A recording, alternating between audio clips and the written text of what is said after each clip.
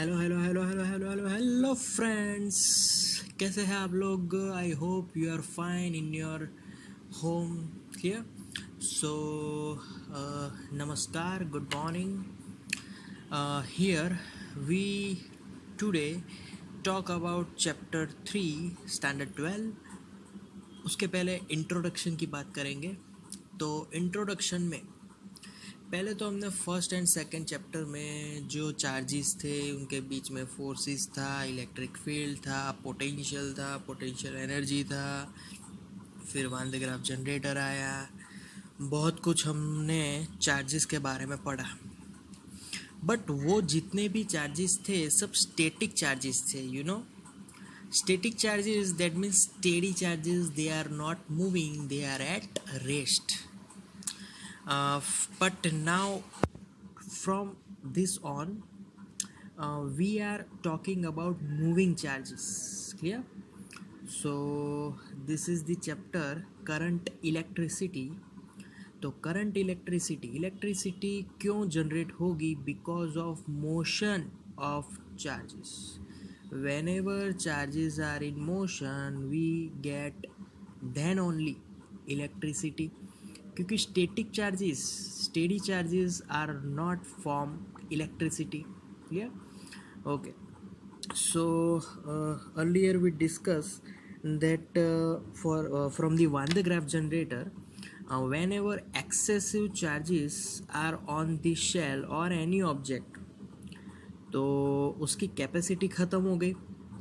तो कैपेसिटी जब ख़त्म हो जाएगी, तब वो क्या करेगा? अपने सराउंडिंग एयर मॉलिक्यूल्स को आयोनाइज करेगा। मतलब कि वो we know that air is insulator कभी भी जो इलेक्ट्रिसिटी है, वो एयर से पास आउट नहीं हो सकती।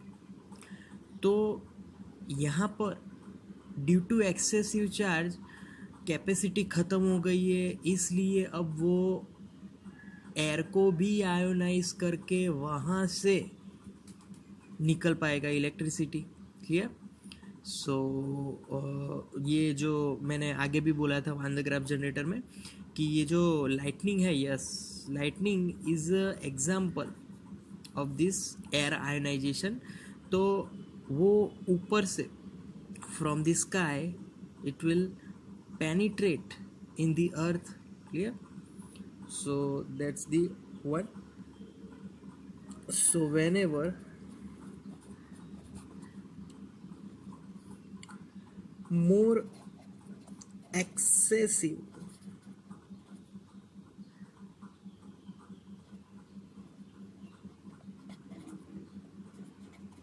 charges are on any object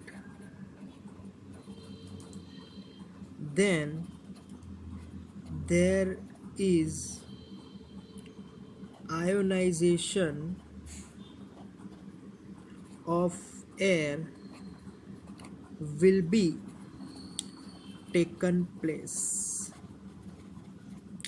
मतलब कि वो एयर को आयोनाइज करते हुए आगे चला जाएगा क्लियर तो इस टॉपिक में हम लोग पढ़ने वाले हैं इलेक्ट्रिसिटी आगे जाके पढ़ेंगे ओम्स लॉ फिर ओम्स लॉ का दूसरा जो एक इक्वेशन है, उसको दूसरी तरीके से हम लोग डिराइव करने वाले हैं। क्लियर फिर आगे जाके कंडक्टर इंसुलेटर तो है ही। फिर we are talking about potentiometer then galvanometer ये सब हम लोग एक्सपेरिमेंटली यूज़ करते हैं। फिर एमीटर वॉल्ट मीटर ठीक है तो इस चैप्टर में बहुत सारे अच्छे अच्छे अमेजिंग से अमेजिंग से टॉपिक होंगे। Okay so that's the introduction guys thank you for today